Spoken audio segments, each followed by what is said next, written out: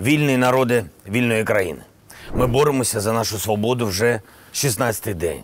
Це вчетверо довше, ніж ворог планував на своє вторгнення. Вчетверо довше проти армії, яку вважали однією з найсильніших у світі, яка сподівалася, що українці здадуться.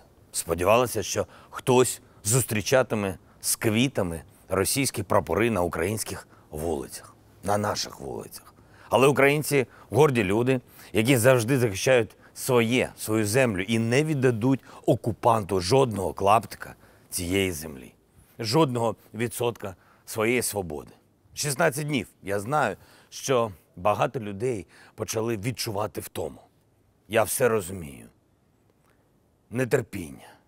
Розумію. Емоції грають з людьми погану гру. Це життя, коли ми мобілізуємось, коли ми бачимо наші бойові перемоги і втрати ворога, ми очікуємо, що боротьба завершиться швидше, що окупанти впадуть швидше. Але це життя, це війна, це боротьба. Ще потрібен час, ще потрібне терпіння, наша мудрість, енергія, уміння робити свою роботу по максимуму, щоб ми разом дійшли до перемоги. Неможливо сказати, скільки днів нам ще звільняти нашу українську землю, але можливо сказати, ми це зробимо, бо ми цього прагнемо. Бо стратегічного перелому ми вже досягли, ми вже йдемо до нашої мети, до нашої перемоги. Це вітчизняна війна. Війна з дуже впертим ворогом, який не звертає уваги на тисячі своїх, навіть своїх убитих людей, убитих солдатів, який збирає по всій Росії зараз резервістів та строковиків, щоб кинути їх у пекло цієї війни, який придумав завозити найманців проти наших людей, головорізів Сирії, з країни, яку руйнували так само, як зараз окупанти знищують нас. Наш Маріуполь, наш Харків, Охтирку, Чернігів, Волноваху, Ізюм тощо. Вот так российские войска относятся к украинцам. Вот так относятся к Донбассу. Как они говорили, к русскоязычным людям. Как они всем кричали о защите. Которых в Москве столько, столько всего наговорили. Ракеты, авиабомбы, артиллерия. А теперь вот еще сирийские наемники, которых вообще не различают, кто и на каком языке здесь разговаривает, в какую церковь ходит, какую партию поддерживал. Наемники, которые просто едут убивать на чужой, во всех смыслах этого слова, на чужой землі. За минулу ніч і ранок окупанти провели, як вони кажуть, демілітаризацію водопроводу в Чернігові. Місто залишилося без води.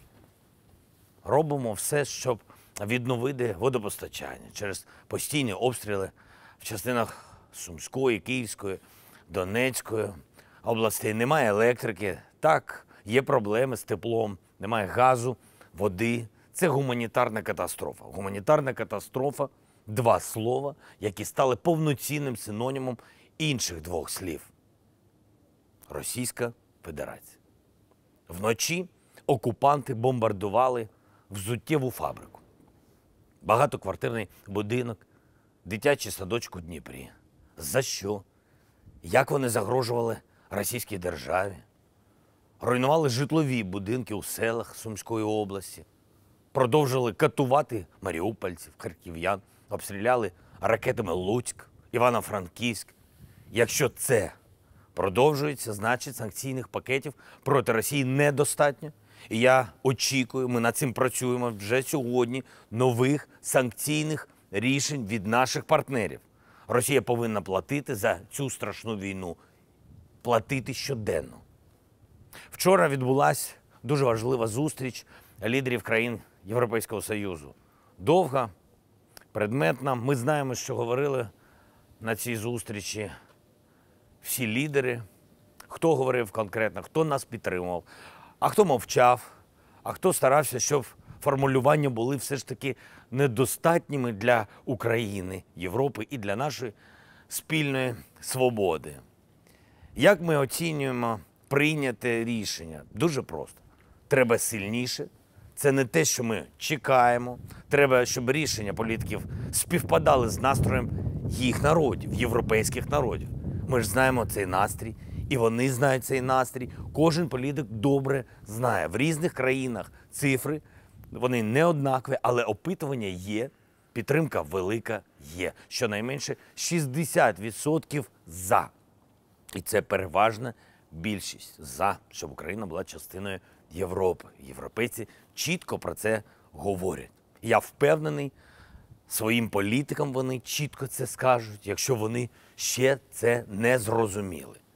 Рішення вчорашньої зустрічі лідерів ЄС тепер виходить на рівень Єврокомісії. Для реалізації, для конкретних процедур Євросоюз має зробити більше. Має зробити більше для нас, для України і для себе. Ми це очікуємо. Всі європейські народи очікують. Наші урядовці сьогодні організували 12 гуманітарних коридорів. Вантажі з харчами, з харчовою продукцією, з водою, ліками вже в дорозі, Ізюм, Енергодар, Волноваха, Пологи, Буча, Гостомель, Бородянка, Андріївка, Микуличі, Макарів, Козаровичі. Звичайно, звичайно, Маріуполь, українські військові забезпечили тишу, щоб гуманітарні коридори працювали. Якщо ж окупанти знову будуть стріляти і зриватимуть порятунок людей, зрештою вони отримують таку відповідь світу, що вже й самі потребуватимуть гуманітарних коридорів.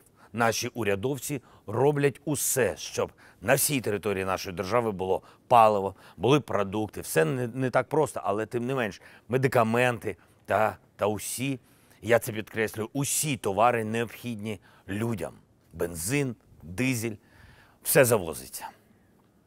Сьогодні вранці на щоденній селекторній нараді мені поставили питання логічне, зважаючи на весну, що з посівною, як її починати, і особливо у тих районах, які тимчасово окуповані.